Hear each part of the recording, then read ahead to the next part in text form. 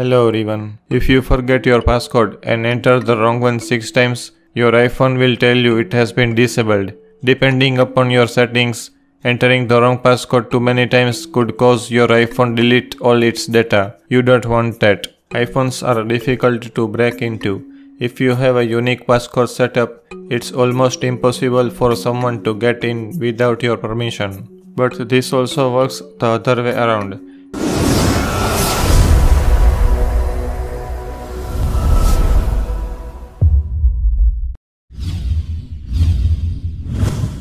If you need to open an iPhone but don't have the password or it's disabled or if you are selling or giving away your iPhone, you will need to reset it. All your personal information is wiped from the device. Resetting your iPhone to its factory setting will take it back to its basic it came with. No contacts, playlists, pictures, password memory or anything else you have added since the day you bought it. Here is how to factory reset your iPhone and make sure your data is backed up. Luckily I found the password unlocker to reset iPhone without password.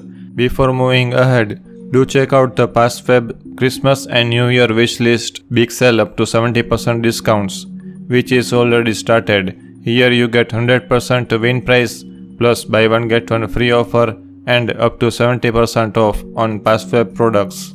Fully compatible with latest iOS, iPadOS 15 or iPhone 13 and more. And this tool is available for both Windows and macOS. PassFab iPhone Unlocker will help you unlock screen passcode, bypass Apple ID and MDM without iTunes or iCloud in several minutes. Here on main screen, you have option to enter the key with your login details.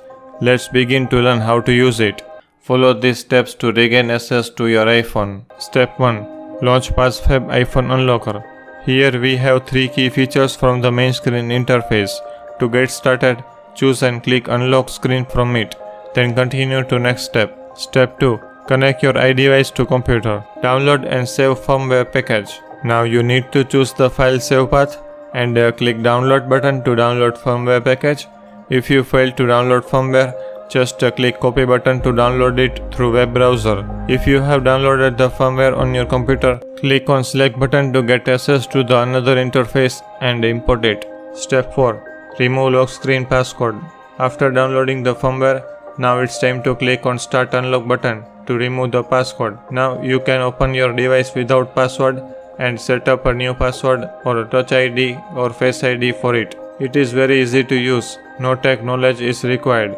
Just connect your iDevice and in few clicks your iPhone or iPad is unlocked. PassFab iPhone Unlocker is a professional software provider focusing on different issues that people encountered on iOS, Android, Windows and Mac platforms. It provides a solution for data recovery, screen unlock, system repair, password recovery, phone transfer, as well as multimedia tools like a convert from PDF and convert to PDF. PassFab software products are trusted and loved by users worldwide.